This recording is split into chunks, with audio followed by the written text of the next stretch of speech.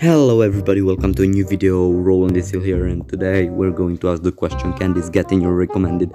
And if you are here you're either from a recommendation or notification or you're just on my channel, congratulations.